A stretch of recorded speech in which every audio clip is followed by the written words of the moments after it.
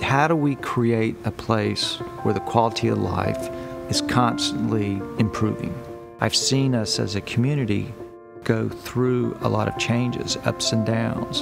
And my major contribution is to be able to provide some of that history and, and some of that context. And then also explain the why.